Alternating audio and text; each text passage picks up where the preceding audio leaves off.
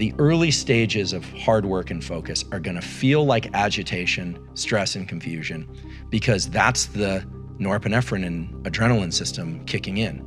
None of us would expect to walk into the gym and do our PR lift or you know, a performer go do something without warming up. The brain also needs to warm up and start to hone in which circuits are going to be active. And it's it's unreasonable for us to think, oh, I've got an hour, I'm going to plop down and write mm. beautifully for an hour, my best work. We need to accept that there's a period of agitation and stress that accompanies the dropping into these highly concentrated states. Now, in terms of the reward that accompanies um, the feeling that we're funneling into that that groove of, of being productive in in one regime, like for you writing this book. The dopamine system is really important to understand. So we've talked about norepinephrine kind of gets you going. Acetylcholine is the spotlight of attention. The dopamine system is Mother Nature's hardwired ancient system in all animals, including humans, to put us on the right path. Now, it's a lot of people talk about dopamine as this thing that you get when you publish the book or when you get the book deal or when something wonderful happens, like your child's born. And that's true. But dopamine's main role is to be released anytime you achieve a milestone or you think you're on the right path. And when the dopamine system is tethered to a particular pattern of focus, remember duration, path, and outcome. So it's like, okay, you sit down, maybe you don't get much text out, but then the next day you get 800 words of really solid text and you feel good. You're like, I'm, I'm into this. What does that dopamine system do? The dopamine system takes the norepinephrine, which is normally rate limiting, like at some point, there's so much norepinephrine that you quit, and we can talk about that. Mm-hmm. It's actually the, the substrate for quitting. Dopamine can push that noradrenaline back down that adrenaline back down and give you more room, more space to do duration, path, and outcome work, highly focused work. Mm-hmm. And I'm making duration, path, outcome synonymous with highly focused work. Why would this happen? So let's think about an animal. Let's think about a deer that wakes up and is thirsty and it's wandering out looking for water. That animal needs water. It doesn't know that it needs water. It experiences agitation. The same way that a baby feels agitation when it wants food, but it doesn't know it needs food. Mm-hmm. It just feels agitation and cries, and the caretaker comes, hopefully. That deer is now foraging for something that it needs. And let's say it smells water, because deer can actually do that, and arrives at a stream and takes a sip of water. There's dopamine release then that puts it on a path to maybe a larger lake or something of that sort, or to be able to go achieve food. So when we are on the right path and we hit a milestone, dopamine is released and it tends to tighten our focus more for that activity. So the dopamine, this is why drugs of abuse and why alcoholism and some you know process addictions which are behavioral addictions are so dangerous because they a lot of those drugs of abuse are dopamine. So it becomes this yeah. cyclical loop where there's no other behavior that can evoke the same level of release. Right. In fact i, I sort of define addiction as a progressive narrowing of the things that bring you pleasure and I say that because it really is the way that the dopamine system works. Normally, the dopamine system is designed to be generic. It's designed to get me to do lots of things, social quality, social interactions, you know, work, exercise, all those things.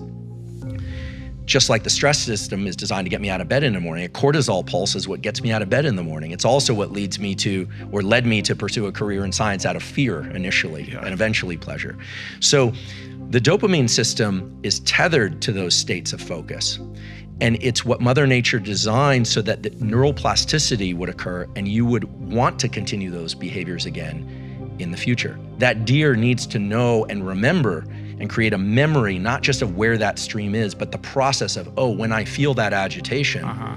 I'm going to get up and go down this particular path. Right. And so people think of the dopamine system as this kind of like catch all for reward. Oh, you get likes on Instagram and it makes you feel good.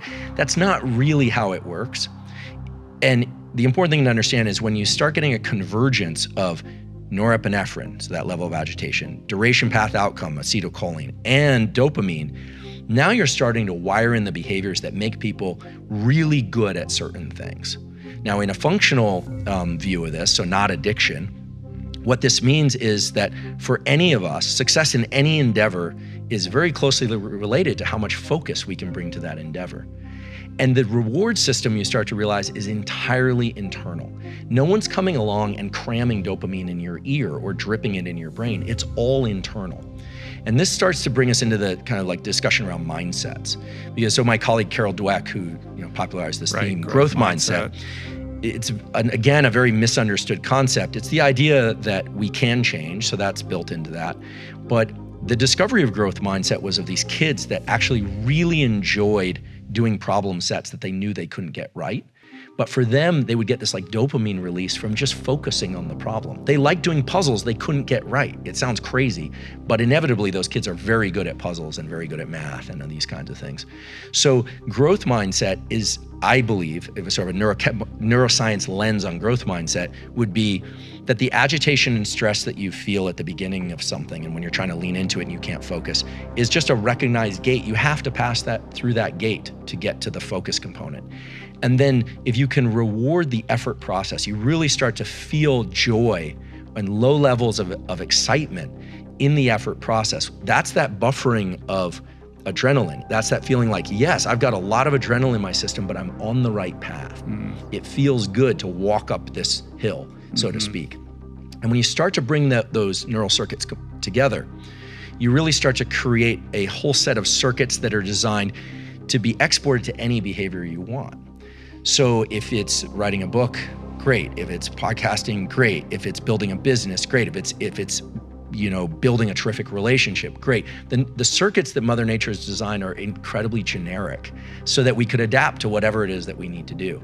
And I think the misunderstanding around how these circuits work has led to this idea that there's some secret entry point maybe marked flow on the door mm-hmm. and there's a trampoline up to that door and you just mm-hmm. open that door and you're going to be in it right and yeah, yeah, nothing yeah. could be further from the truth and anyone who's done well in any career or athletic pursuit knows this but unfortunately there's a kind of obsession with the idea that it's all supposed to feel good. And it does feel good, but there's a whole staircase in which it feels kind of lousy. Remember earlier we were talking about how thoughts are spontaneous? You can't control them.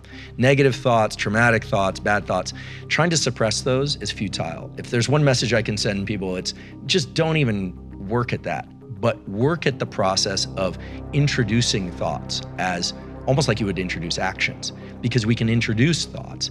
And you know, Carol Dweck has talked about this that positive self-talk is not the same thing as growth mindset because positive self-talk is almost always linked to the ultimate outcome. If I'm losing badly in something mm-hmm. and I tell myself I'm doing great, I know that I'm lying. Yeah, There's no dopamine release right. from that.